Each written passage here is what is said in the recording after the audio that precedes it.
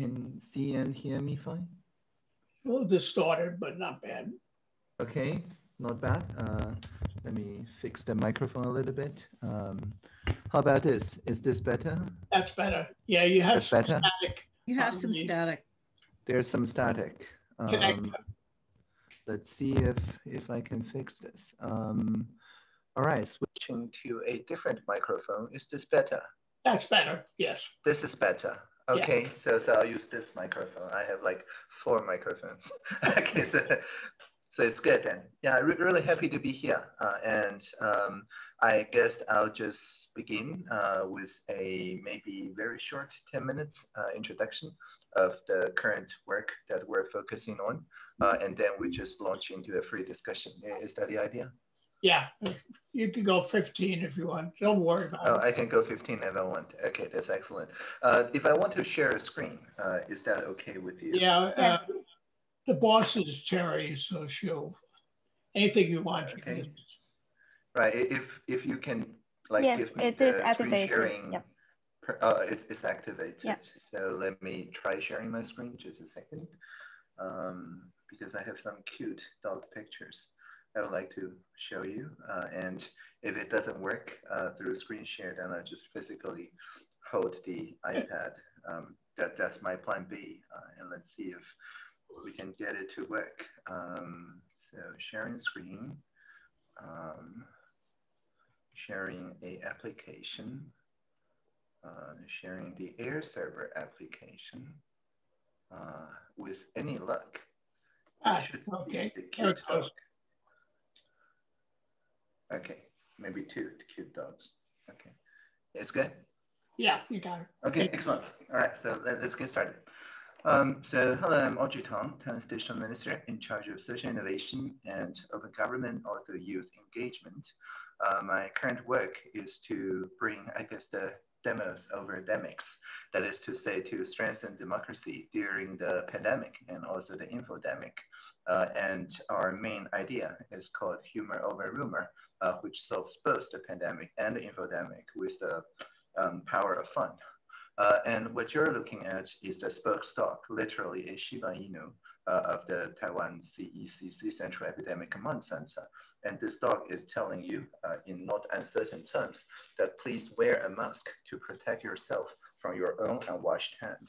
Uh, and this is a beautifully crafted message because not only did it uh, appeal entirely to rational self-interest, but also makes you know masks um, a really kind of personal statement that you would like to wear even if there's nobody nearby. Uh, other messages such as wear a mask to protect the elderly, wear a mask to respect others and so on, doesn't have the same basic transmission rate uh, as this simple message. And our idea is very simple for all the conspiracy theories, uh, we counter them within a couple of hours uh, with this very funny picture. This one talks about physical distancing, uh, which you probably already figured out uh, in terms of Shiba Inus.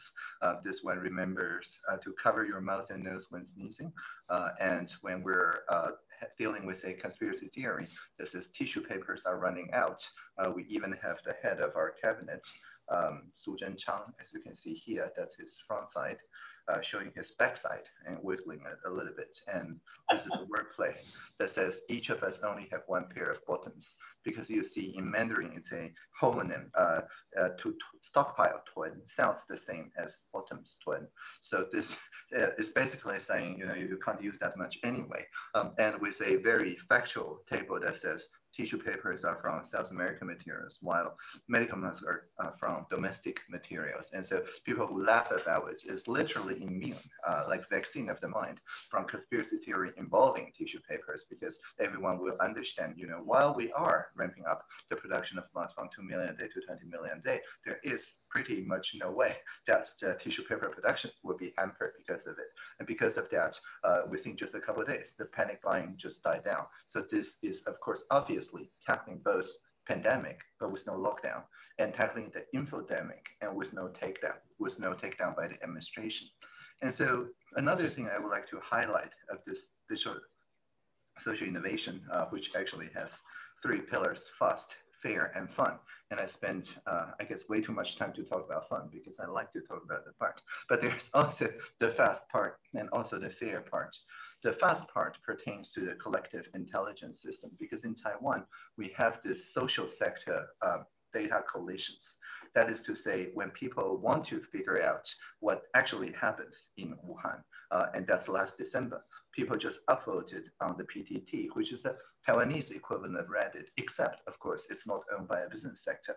It's not by the public sector either. It's literally pet project, side project of National Taiwan University students. Um, and so it has been like um, around for more than 20 years. Um, and so it's the go-to place for this young doctor with the name No More Pipe that reposted Dr. Li Wenliang's whistleblowing and get a professionals essentially triaging what's actually going on uh, in Wuhan. And before long, actually within 24 hours, they get into this rough consensus that this looks really legit. And so the next thing we know, not only did we send an email to WHO, but we started health inspections uh, for offline passengers coming in from Wuhan, thanks to this collective intelligence serving as essentially a early warning system. So Li Wenliang literally saved Taiwanese people. Um, of course, he didn't get to save the Wuhan people, but anyway, uh, that is because, uh, of course, the difference uh, in the civil liberties, in the freedom of speech, of assembly, of free, um, the press, and so on. According to the Civicus Monitor, Taiwan is the only jurisdiction in the whole of Asia where a minister's word uh, holds the same um, power as a journalist word, or for that matter, a random pseudonymous young doctor's word uh, on the PTT. And so this enables us to build a very fast response loop that basically says anyone who watched the daily 2 p.m. live stream can call this toll-free number 1922. Of course, there are high-tech ways like chatbots and so on, but for anyone, they just call 1922 and they can say, uh, we didn't quite get what the minister was saying, uh, Chen Shizhong was saying. Uh, and so please repeat that to me slowly again, explain like I'm five. Perhaps the caller is five. Um, and so the call center people will always explain in no uncertain terms. But sometimes it's also a feedback loop, like a social innovation uh, loop. For example, there was a young boy, like really young, who called, um, I think, 12th uh, of April saying, You're rationing out masks, and all I get as a young boy are those pink medical masks. Uh, and I don't want to wear pink to school. My classmates will laugh at me. Uh, do something about it. Uh, so the call center people doesn't know how to handle this call. And so it got escalated all the way to the CECC because I was there when it was escalated up to the CECC. And the very next day, uh, all the medical officers, regardless of gender, in the daily live stream uh, press conference wore pink. Um, and uh, uh, Minister Chen Shizhong even said that his childhood hero was the Pink Panther. Uh, and so the young boy become the most hit boy in the class, where only he has the color that the heroes wear, and I guess also heroes hero wear uh, for some value of wear. Uh, and so uh, all the trending brands actually changed their avatars on social media pink. Uh, so for a while, pink became the, the most hip color. Um, and then, of course, a lot more people is willing to wear masks and wash their hands because of that. Um, and so the solution is not only gender mainstreaming, also promotes social innovation because now people know uh, if you call 1922 with a random idea, chances are that administration will actually amplify your idea to the country. Um, and so later on, there's a professor Lai Chunyu uh, that uh, actually got uh, experiments going with the traditional rice cookers and says if you don't add water to the traditional rice cooker, it will very quickly heat up and kill the virus, but doesn't kill the mask. Uh, and so you can end up using the mask quite a few times uh, using the uh, dry cooking, dry steaming method. Um, and so, of course, it looks uh, ridiculous. It sounds ridiculous, but it's scientifically true. And once the TFDA, or Food and Drug Administration, repeated the experiment, you see Minister Chen Shizhong actually cooking a mask on the uh, 2 p.m. Uh, live press conference while Professor Lai Chun explained the theory uh, on the press conference. So that's um, very quick and also collective intelligence is not uh, a top-down thing. And finally, I want to talk about fairness. In Taiwan, there's this uh, movement called G0V or GovZero. Uh, we look, um, we, because I wear two hats, uh, we look uh, at all the government digital services, which is always something that gov.tw and fork, taking it to a different direction, then build alternative websites, something that g0v.tw. So just by changing O to a zero on your browser bar, you get into the shadow government, which is always more fun. Uh, and it's based on the same public data, but it's also offered in a free of, uh, like free as in freedom way to uh, allow more forks um, in the civil society.